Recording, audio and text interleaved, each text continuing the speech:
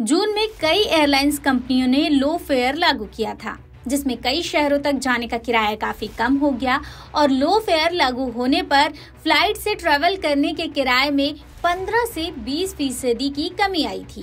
साथ ही लो फेयर करीब एक महीने तक ही लागू रहना था, लेकिन अब इसे एक महीने तक बढ़ा दिया गया है। यानी कि अगस्त के लास्ट वीक तक एयरलाइंस में कम किराए में सफ़र किया जा सकेगा।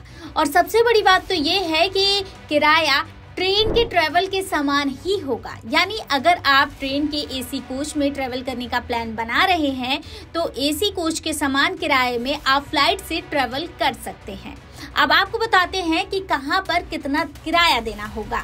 17 अगस्त को मुंबई से जयपुर के लिए इंडिगो की फ़्लाइट का किराया 3,590 से 3,922 के बीच होगा। एयर इंडिया एक्सप्रेस का किराया 3,921 और विस्तारा का किराया चार हज़ार चार सौ छिहत्तर होगा, जो मुंबई से जयपुर के लिए ट्रेन के एसी कोच से सस्ता है। 17 अगस्त को पुणे से जयपुर के लिए इंडिगो की उड़ान का किराया चार हज़ार छह सौ पैंतीस रूपए होगा, जबकि एयर इंडिया एक्सप्रेस का किराया चार हज़ार आठ सौ पैंतीस रूपए होगा। स्पाइस जेट अहमदाबाद से जयपुर के लिए चार हज़ार दो सौ छह रूपए और एयरलाइंस एयर दिल्ली से जयपुर के लिए एक हज़ार नौ सौ चौसठ में टिकट उपलब्ध कराई जाएगी।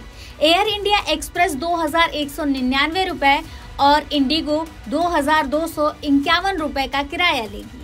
अब आपको बताते हैं कि 11 से 18 अगस्त के बीच में कितना किराया लगेगा और कहाँ पर सबसे कम किराया लगेगा। दिल्ली से भोपाल दो हज़ार सात सौ उनचास रूपए। भोपाल से दिल्ली तीन हज़ार पाँच सौ उनतीस रूपए। रायपुर से भोपाल चार हज़ार पाँच सौ इक्यासी रूपए। भोपाल से जयपुर चार हज़ार आठ सौ एक रूपए। अहमदाबाद से भोपाल तीन हज़ार दो सौ बासठ रूपए। भोपाल से अहमदाबाद तीन हज़ार चार सौ बासठ रूपए। भोपाल से बेंगलुरु पाँच हज़ार चार सौ पैंसठ रूपए। दरअसल, कोलकाता और बेंगलुरु को अगर छोड़ दें तो अन्य शहरों का किराया काफ़ी कम हो गया है। दिल्ली और मुंबई से जयपुर आने वाली फ्लाइट्स का किराया तो ट्रेन के फ़र्स्ट एसी क्लास कोच के बराबर ही है। किराया बराबर है, लेकिन ट्रेन की बजाय फ़्लाइट से ट्रेवल करने में बहुत कम समय में आप अपनी डेस्टिनेशन तक पहुँच सकेंगे। ऐसी ही खबरों के लिए बने रहें हमारे साथ और देखते रहें द सूत्र। धन्यवाद।